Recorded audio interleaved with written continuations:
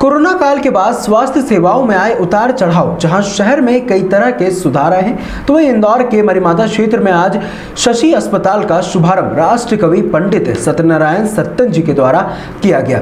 शिक्षा और स्वास्थ्य के क्षेत्र में इंदौर शहर, वैसे तो पूरे देश में अग्रणी स्थान रखता है, लेकिन हर दिन बढ़ती जनसंख्या और बीमारियों से जूझते लोगों की परेशानियाँ दूर करने और उनका अच्छा उपचार करने के उद्देश्य से शहर के पश्चिम क्षेत्र में बीते करीब 45 वर्षों से सेवा दे रहे शशि नर्सिंग होम ने अपने अस्पताल को नए स्वरूप में तैयार करके पुनः शुभारंभ किया है। दरअसल, शशि हॉस्पिटल पूर्व मेयर शशि शर्मा द्वारा लंबे समय से संचालित हो रहा था। वहीं कुछ कारणों के चलते अस्पताल बंद होने के बाद उसे रिनोवेशन करके फिर शुरू किया गया है, जिसका आज विधि विधान से शुभारंभ हुआ। राष्ट्र कवि और सरस्वती पुत्र कहे जाने वाले सत्यनारायण सत्तर, पूर्व सांसद कृष्ण मुरारी मोघे सहित कई लोग इस दौरान मौके पर मौजूद रहे और अस्पताल शुभारंभ पर अपनी शुभकामनाएँ प्रेषित की।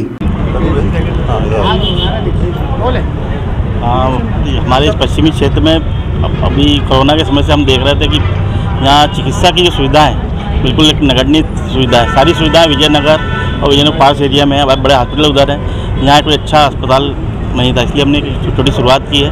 तो ये हमारा ये जो अस्पताल है ये करीब पैंतालीस वर्षों से सेवा दे रहा था। बीच में दीदी का मेयर बनने का हुआ उसके बाद से हॉस्पिटल बंद था।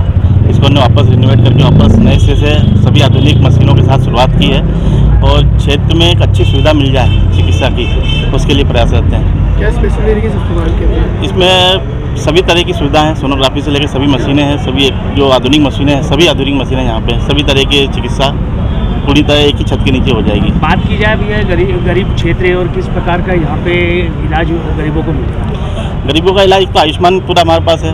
उसके अलावा भी जो भी हमें जैसा लगता है आवश्यकता अनुसार कि अब पेशेंट में आर्थिक रूप से थोड़ा कमज़ोर है तो हम लोग खुद ही उसको डिस्काउंट करके कर देते हैं। आपका आपका नाम?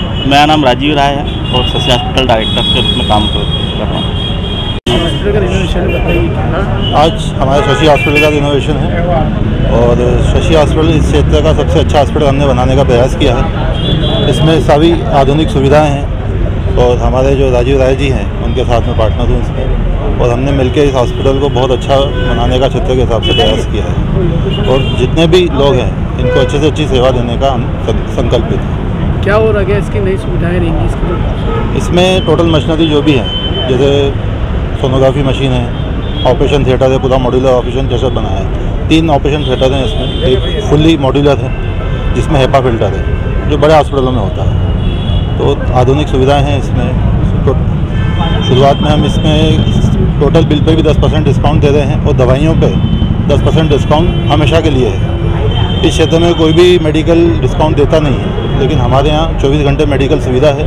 और 10 परसेंट डिस्काउंट सभी दवाइयों पर उनको दिया जाता है। क्या ये भी ओपनिंग है तो इसलिए कहा जा रहा है कि आगे नहीं दवाइयों पे तो हमेशा रहेगा। और बाकी अगर यहाँ पे बिल की बात करें तो यहाँ रेट सभी हॉस्पिटल से बहुत रिजनेबल रखेगा।